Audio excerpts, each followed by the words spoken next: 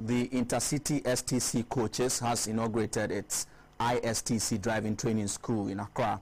The school will enable drivers to review and refresh their driving experiences in order to minimize road accidents in the country.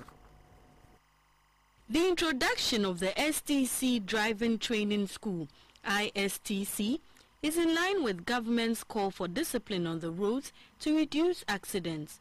The Intercity STC Coaching School was established to encourage training of best practice in road safety and transport alertness. The school will offer training courses for potential coach drivers, refresher training courses, as well as driver testing services for all stakeholders, corporation and individuals. Courses to be treated at the school include hazard perception, transport manager, and road safety consciousness. Other programs are driver's assessment, driver assessment test, vehicle professional maintenance and bus and coach driver programs.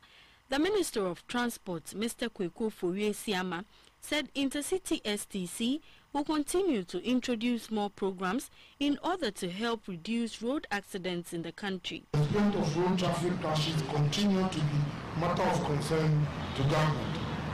Driver behavior plays an important role, adequate refresher training programs for drivers are necessary to ensure that driving skills are improved to ensure safety on our roads. The managing director of Intercity STC coaches, Nana Akomea, said the school can boast of modern training equipment. We engage the private sector operator who's brought in very sophisticated, very modern equipment, including simulators. Now, simulators are equipment that we normally use to train pilots for airline. You don't usually have them in um, in uh, motor driving schools. So we are probably the first driving school to have simulators.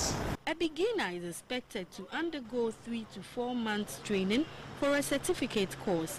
The training school is fully accredited by the DVLA to undertake programs in road safety discipline for licensed drivers.